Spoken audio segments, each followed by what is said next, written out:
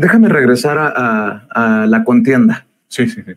Sí, nos aventamos. Sí, no, pero está sabroso, eh, porque eso es también la Ciudad de México. claro. Eh, es un arco iris, es un rompecabezas, estamos de todos lados. Yo soy sonorense, lo mismo me encuentro con un poblano que con un veracruzano. Y mi sueño, perdón que te interrumpa nada, mi sueño es interconectar una vez más a la Ciudad de México con puerto de Veracruz, con Acapulco, con Guerrero, con, eh, con el gran eh, puerto de Guerrero, con, perdón, el gran puerto de Acapulco, con, con Jalisco, con Aguascalientes.